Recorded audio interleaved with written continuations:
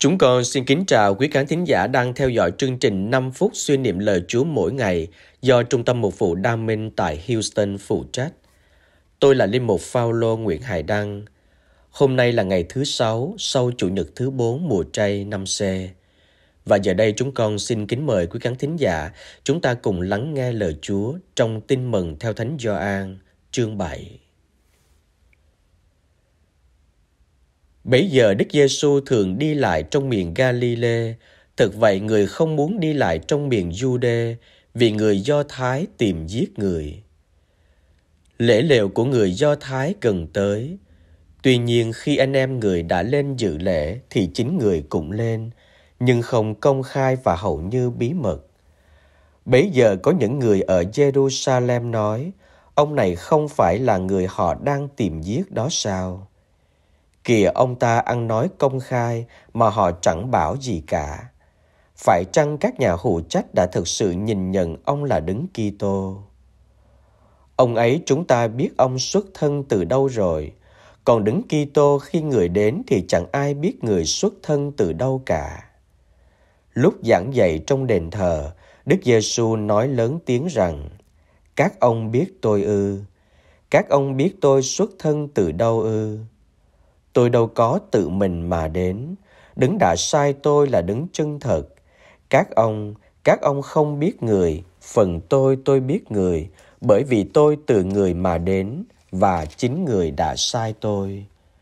Bấy giờ họ tìm cách bắt người, nhưng chẳng có ai tra tay bắt vì giờ của người chưa đến. Đó là lời Chúa.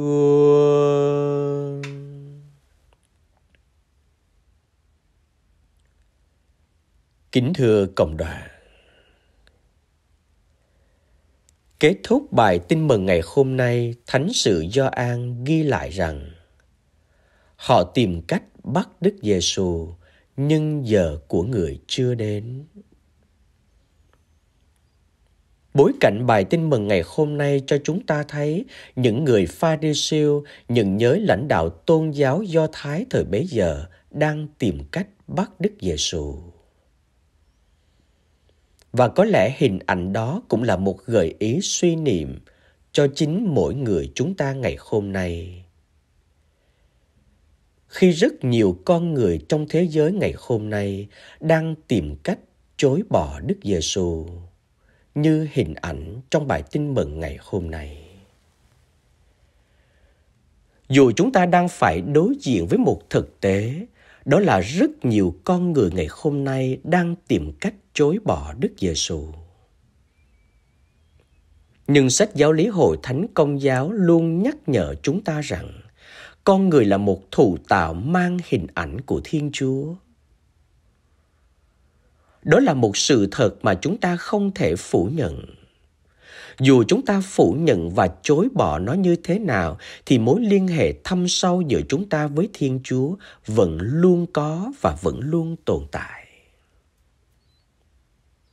Vì vậy, thánh teresa avila, ngài đã từng nói rằng, chúng ta có thể xóa mờ hình ảnh của thiên chúa trong chúng ta, nhưng chúng ta không bao giờ có thể dập tắt được hình ảnh đó bởi đó là căn tính cấu thành nên chính con người của chúng ta. Chúng ta mãi mãi là hình ảnh của thiên chúa.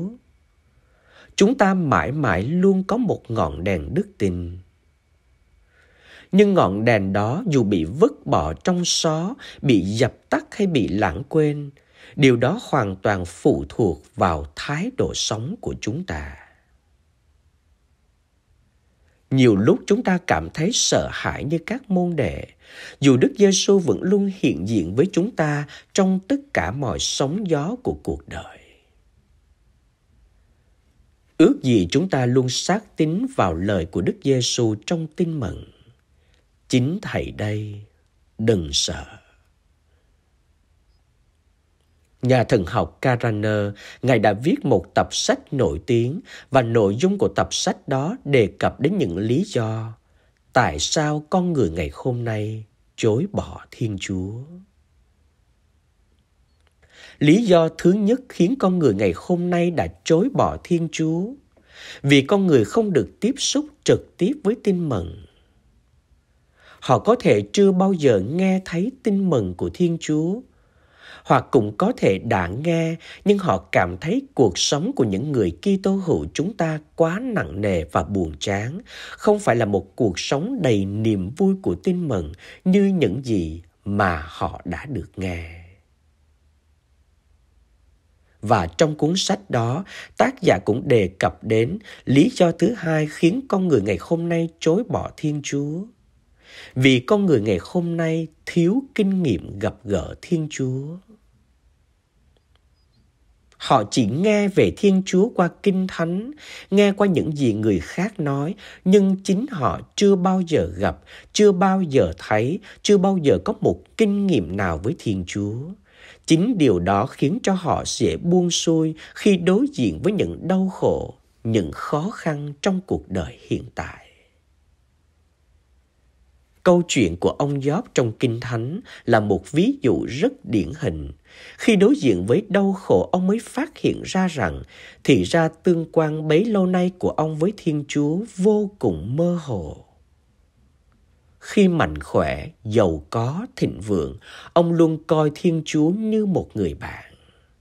Nhưng giờ đây và lúc này, khi đối diện với những đau khổ, hình ảnh Thiên Chúa trong ông chỉ còn là một kẻ thù.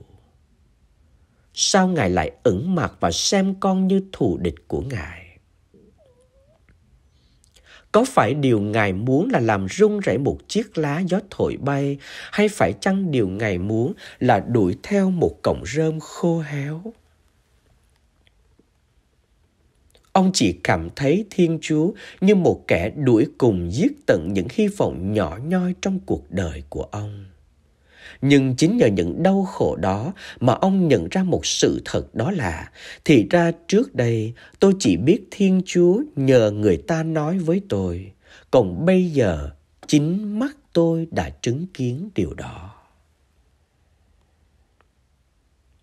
Và lý do cuối cùng khiến rất nhiều con người ngày hôm nay đang chối bỏ Thiên Chúa là do sự cồng kềnh của cái tôi luôn hiện hữu nơi mỗi người chúng ta. Đó là cái tôi ích kỷ, cái tôi khoái lạc, cái tôi tham lam của danh lợi vật chất. Rất nhiều và rất nhiều. Những cái tôi đó chính là vật cản ngăn trở chúng ta đón nhận hạt giống tin mừng của Đức Giêsu. Tất cả những lý do đó chính là lớp bụi của cuộc đời lớp bụi của thời gian, lớp bụi của không gian luôn đeo bám và luôn làm che mờ ngọn đèn đức tin của chúng ta. Nếu ngọn đèn đức tin của chúng ta đã được thắp lên bằng tình yêu của Thiên Chúa, thì mỗi người chúng ta cũng phải có trách nhiệm thắp lên ngọn đèn đức tin đó nơi chính chúng ta và nơi người anh em chị em của chúng ta như vậy. Đó chính là tinh thần mà Đức Giêsu mời gọi chúng ta trong bài tin mừng ngày hôm nay. Truyền giáo không có nghĩa là chúng ta phải làm những việc to lớn vĩ đại. Chỉ cần mỗi người chúng ta hãy thắp lên một ngọn đèn dù nhỏ nhoi nhưng một ngọn, hai ngọn, ba ngọn và rất nhiều ngọn thì ánh sáng của nó sẽ có khả năng sưởi ấm và chiếu sáng cho nhiều người cách truyền giáo hữu hiệu nhất cho con người ngày hôm nay.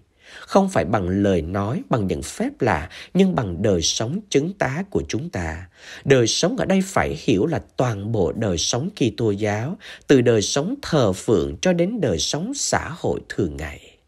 Từ nhà thờ đến trường học, từ trường học đến chợ búa, từ chợ búa đến xí nghiệp, từ xí nghiệp đến tất cả mọi tương quan trong đời sống của chúng ta tất cả môi trường đó đều là môi trường của truyền giáo.